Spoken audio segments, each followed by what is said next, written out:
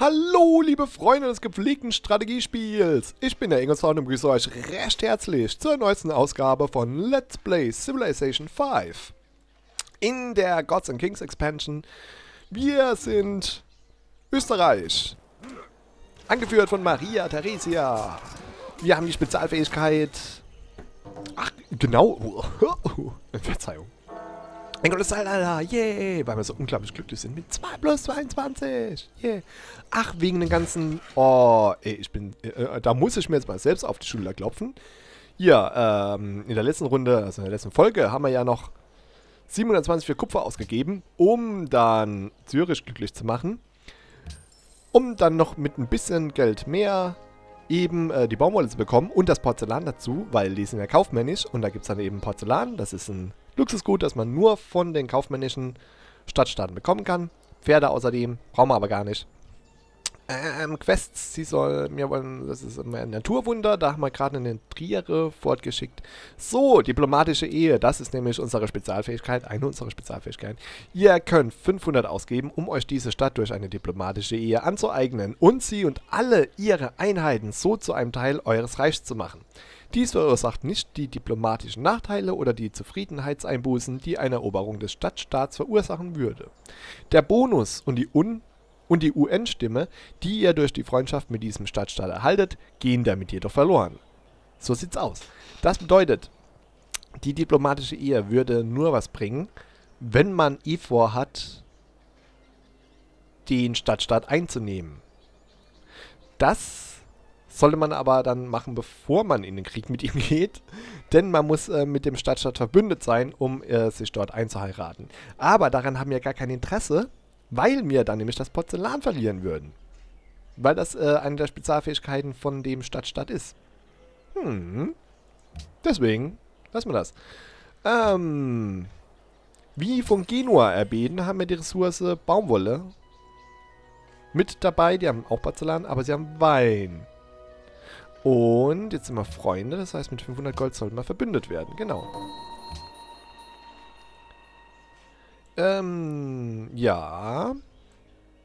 Venedig fehlt noch im bunten Reigen der Stadtstaaten. Ähm, wir sind mit, mit zwei nur verbündet. Genua, Zürich. War Laventa nicht auch irgendwie? Nee, ihr solltet einen großen Ingenieur ausbilden. Pelze, Pelze wären schön. Wir haben nämlich keine Pelze. Großer Ingenieur. Ja, sobald wir noch neun Runden, wir haben nur 13 Runden, ähm, die Unabhängigkeit haben, werden wir ja sowieso einen großen Ingenieur uns nehmen, äh, für uns, uns für einen großen Ingenieur entscheiden. Wir bekommen eine große Persönlichkeit nach unserer Wahl. Und dann nehme ich immer gerne die großen Ingenieure, um dann ein Weltwunder bauen zu können. Was ist bauen zu können? Einfach äh, zu triggern. Triggern. Ach ja, genau. Das ganze Ding habe ich ja eigentlich nur gemacht, weil ich Eisen brauchte. Das ist dann der nächste Vorteil. Um hier die ganzen Krieger zu Schwertkämpfern abzudaten. Tadang. Um, du bekommst noch keine Promotion. Du gehst hier hoch. Äh, mach ich ein Automaten? Hm. Nee, aber hier können wir auf jeden Fall plus als Nahrung, das ist ja nicht verkehrt. Kompositbogenschütze, ja, an die Front mit dir. Wann ist eigentlich hier, äh, wann kommen die Brücken endlich? Mhm. Ah ja, Maschinenbau. Äh, ja, aber erstmal die Handelsposten, genau. Die uns dann zu äh, sehr großem Reichtum führen werden. Okay, du kannst nicht hier, dann gehst du eins nach vorne und schießt hier so schräg rüber. Du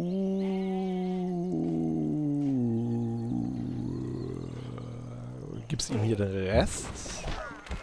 Hoffe ich doch, ja.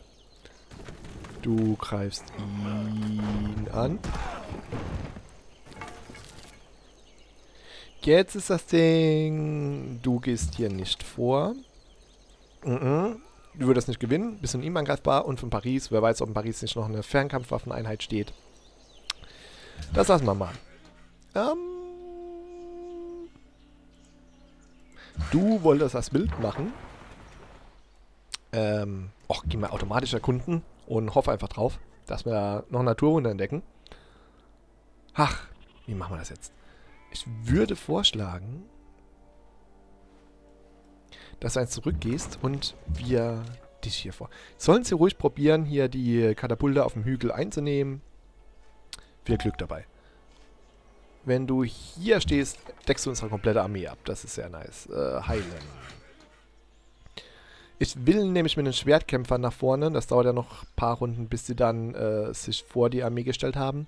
Und dann vor mit den Schwertkämpfern Paris angreifen und mit dem Katapult die Stadtverteidigung kaputt schlagen.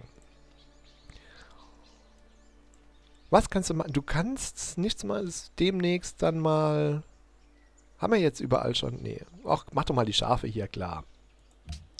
Kann ja nicht schaden. Wobei ich darauf achten muss, dass die Städte nicht zu groß werden. Also 5 ist schon so... Eigentlich, ist eigentlich schon genug. Huch. Uh, jetzt bin ich aber in Lyon reingetappt. Da stellt sich die Frage, ob mir Lyon nicht irgendwie zuerst, wenn wir ja alle einen Schritt zur Seite gehen, können wir Lyon kurz einnehmen und sind von denen nicht mehr angreifbar, wenn wir dann auf Paris zu stürmen. Äh, nächste Runde vielleicht. Okay, für euch gibt es nichts zu tun. Ah doch, du kannst hier drüben angreifen. Okay. Ah. Ah. Oh, ich merke schon, dass meine Stimme wieder weggeht. Ich bin ja im richtigen Leben. Das hier ist nämlich nicht das richtige Leben, das ist nur eine Illusion. Ähm, gar nicht so der Typ, der viel redet. Nahrung. Na. Ähm, ja, deswegen bin ich, bin ich es überhaupt nicht gewohnt, länger als ein, zwei Stunden am Stück zu reden. Ist auch immer, wenn ich an der Uni ähm, Referate halten muss, ist mein größtes Problem gar nicht mal, mich da vorne hinzustellen, den Leuten was vom Pferd zu erzählen, sondern vielmehr, dass meine Stimme nicht versagen, ich nicht ständig irgendwie schlucken muss. Oh. Kaum gesagt, ich bin mal bin ein bisschen leise. Wobei Flüstern ja auch nicht so gut sein soll. Ähm, ja, wir nehmen zuerst Lyon ein, dann Paris, dann Orléans.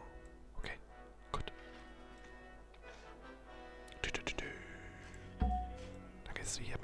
rüber. Und große General ist mir jetzt nicht so wichtig. Wichtiger ist mir was. Was, was greifst du denn jetzt an? Wieso geht jetzt. Was, was, was ist denn jetzt los? Was war denn das jetzt bitte? Hä? Ist das so ein unsterblicher Ding? Nee, das, das muss irgendwie einfach nur ein Bug gewesen sein. Ähm, ja, bleibt mir sonst übrig, außer hier den, den großen Weg anzutreten. Ähm, mit euch auch. Ah ja, macht doch hier den Bauernhof fertig. Hier kannst du nächste Runde schon angreifen. Oh, oh, oh, oh, oh, oh, das Katapult gefällt mir gar nicht hier. Hm. Wie weit kommt ihr nach vorne? Gar nicht mal so weit. Der Speerkämpfer bekommt noch keine Beförderung. Die machen wir uns aber mal auf. Abermals auf so sieht das nach was aus. Ja, wenn ich jetzt hier die Armee einfach nur verschiebe, brauche ich das jetzt nicht jedes Mal äh, zu, äh, zu, erklären, was ich da jetzt wie mache, weil das müsste ja inzwischen klar sein. Ihr habt ja schon oft genug zugeschaut. Falls es neue Zuschauer gibt, äh, hallo. ähm, ich empfehle euch auf jeden Fall jeden Tag eine neue Folge hier zu schauen. aber auch auf meinem Kanal findet ihr zig Let's Plays von, äh, von früher, in Anführungszeichen. Also auch mit anderen Zivilisationen. Was, wieso bin ich mit Venedig im Krieg und warum fällt mir das erst so spät auf? Toll, von allen Stadtstaaten muss ich jetzt mit Venedig im Krieg sein. Okay. Ähm, ja, aber das war ja nur, dass die Fälle hier nicht nutzen kann. Was schon blöd ist. Ähm, wir nehmen die Sofortheilung. Ja. Und ich glaube, wir, wir, wir müssen die Stellung hier aufgeben. Ich glaube, wir ziehen dich hier runter. Bist du noch eine Runde angreifbar, kannst du überleben. Damit wir Platz haben für die Einheiten hier. Die wir wohin schicken. Das Feld hier ist ganz schlimm. Da bleibt uns eigentlich nichts anderes übrig, als mit dem Schwertkämpfer hier hochzugehen. Hm. Nee, mit, mit dir. Du, Warum hat er jetzt nicht eins hoch und eins rüber gehen können? Hat er sich schon bewegt vorher? Hm. Du kannst hier aber Lyon angreifen. Hm. Ja, du gehst, du, du trittst den Rückzug an. Ja, komm, bleib. Jetzt ist wieder... Was, ist denn das? Ist das ein Grafikfehler oder ist es irgendwie seltsam? Ähm... Ach. Naja, geh halt dahin, dann bist du halt von Paris angreifbar. Aber mir fällt jetzt auch nichts Besseres ein. Ah. Auch was wir mit dir machen ist irgendwie... Oh, da ist nirgendwo Platz. Lass mich doch mal... Ja. Hm. Ja, machen wir so. Fertig aus. Ähm, da haben wir jemanden, der upgegradet werden will. Wird er auch. Okay, äh, Sperrkämpfer macht nichts diese Runde. Er könnte alles nichts rund machen diese Runde. Dann bauen wir hier eine Kaserne noch. Ihr wächst schon wieder. Okay.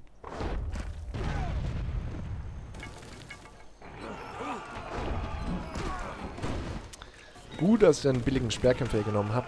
Der zieht das ganze Feuer auf sich. Lyon ist doch nicht einfach einzunehmen, wie ich mir das gedacht habe. Schon wieder. Also, hier wird wahrscheinlich ein Sperrkämpfer stehen, auf diesem Hügel. Aber, ja genau. In Paris kann nämlich nicht gleichzeitig ein Katapult und ein Sperrkämpfer stehen. Deswegen glaube ich mal, dass das alles so gedacht ist. Okay. Der Sperrkämpfer hat es überlebt. Hm. Ist gut für ihn. Äh, ich weiß aber nicht, ob ihn das wirklich was bringen wird. Du entziehst dich im Einflussbereich der Stadtbombardierung. Oh. Wo kommt die denn her? Eieieiei. Hm, Sperrfeuer. Ähm, Kauf ganz geschwind einen Schwertkämpfer. Nee, einen Kompositbogenschütze. Ich glaube Schwertkämpfer. Da hatte ich keine Acht drauf. Kann mal passieren. Hm, so, jetzt ist die Frage. Du bist tot. Und da gibt's auch nichts. So, warte, wir können dich retten. Das war so. Nee, jetzt hast du doch... Oh, naja. Ähm... Hm. Hm, hm, hm, hm. Ach, die große Mauer. Jetzt sehe ich sie auch. ich habe mich eben gefragt, warum das hier so lange dauert. La Grande Mauer. Oh, das... Hm. Nee, ich glaube, dann gehe ich direkt auf Paris. Da, da, da, ist Paris echt leichter einzunehmen als Lyon. Weil ich kann Paris umstellen. Und die ganzen äh, Katapulte hier sind ja auch nicht ohne. Dann, dann machen wir Paris direkt. Kommando zurück. Das, da, da reibe ich mich zu sehr auf. Das werde ich nicht gewinnen können. Schaut mal, dass ihr beiden halt die nächste Runde überlebt. Wenn nicht, war schön, euch getrennt zu haben. Ich äh, lasse euch meine Großgeneral hier um ein bisschen äh, zu, zu, zu, zu, Kampfstärke zu gewinnen. Hm. Hier rüber. Ja.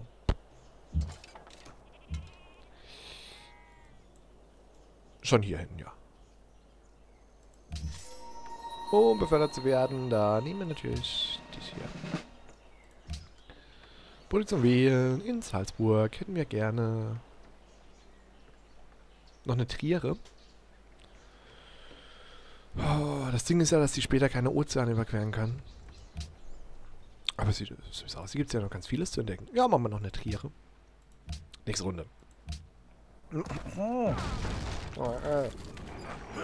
Minus 36, minus 35, minus 26. Und der Unsichtbare, an den ich ja nie dran denke. Dö, dö. Okay, wir haben ein Katapult verloren. Das ist äh, erträglich. Da die Verluste halten sich in Grenzen. Wir werden das Spiel, also nicht das Spiel, das Spiel war gut, wenn wir das jetzt hier gewinnen können mit diesem Angriff. Hm, nee, wir werden den Krieg gegen Napoleon gewinnen, denke ich mal. Dazu ziehen wir euch alle schön zurück. So, dass jeder auch weit genug von etwaigen Unruhestiftern entfernt ist. Alle im, im Gänsemarsch. Eins rüber. Wunderbar. Und dann heilt, wer kann. Offenes Gelände, weil ja, ne? Hier offenes Gelände ist. Wenn wir nur einen vorschicken, dann kriegt er alles ab. Das wollen wir nicht. Du heilst auch. Du kommst von der Flanke. Jetzt äh, kommentiere ich ja trotzdem hier die ganzen Truppenbewegungen. Naja.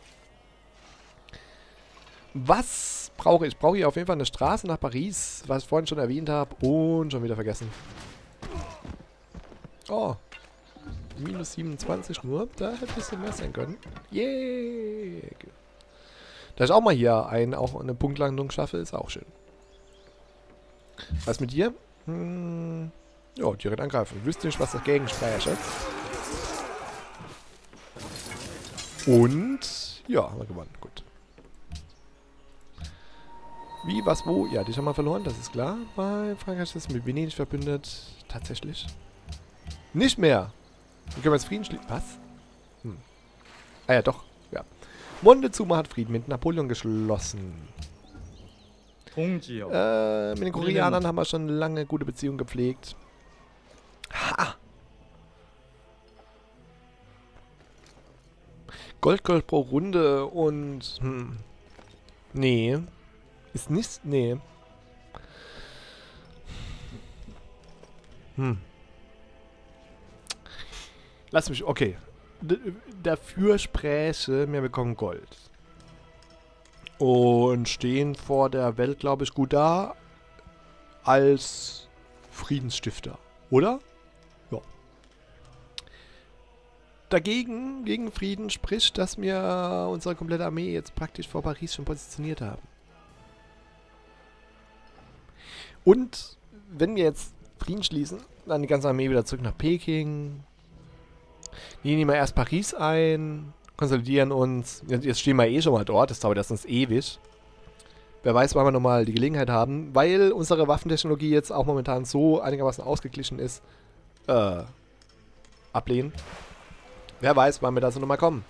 Ich empfehle euch keine... Ja, ich weiß, aber wir sind einfach... Mein Gott, kommt doch auch mal miteinander klar. Können wir... Weißt du, wenn wir uns alle mal zusammen an den Tisch setzen würden, Test und Tee trinken, dann würden wir uns alle super verstehen, glaube ich. Wir, sind da schon auf derselben Seite. Aber... Zack. Amber! Ist jetzt mein neuer Kampfschrei. Amber! Ähm, da fällt mir ein. Hm, ich hätte hier gerne mehr. Du kannst eins vor. Nein! Ah, ich kann noch so oft. Versuchen, da dran zu denken. Ich werde es nicht schaffen. Oh. Ähm, ähm, ähm. Ja, mein Plan war nämlich folgender. Hier mit den Nahkampfeinheiten die Katapulte platt zu machen. Äh, ja, aber das hat sich jetzt erledigt. Ich muss mir angewöhnen, dran zu denken, dass da eine große Mauer steht und deswegen alles ein bisschen länger dauert. Wir schnappen uns hier das Gold. Da fehlen uns aber drei Goldtaler dazu. Wir können dich aber trotzdem schon mal hier hinschicken. Apropos Gold. Da müssen wir jetzt so viel davon haben, dass wir es tauschen können gegen Gold. Haha. Oh? äh, meine ja. Chinesen will ich denen Gold geben. Ach, wir haben selbst welches. Okay. Äh, die Koreaner. Die Koreaner sind doch wie immer sowas. Uh, haha, wo habt ihr das ganze Geld her? Ihr Schlawiner, ihr. 계속해 보시오. Wollt kein Gold. Gut. Äh, Napoleon brauche ich jetzt nicht fragen. Der hat andere Probleme, nämlich Überleben, weil meine Truppen vor seiner Stadt stehen. Haha. Ja, ansonsten fällt mir nichts ein, was wir mit dem Gold machen könnten. Außer mich fürs Zuschauen zu bedanken und mich darauf freuen, euch morgen wieder begrüßen zu dürfen. Bis dann. Ciao.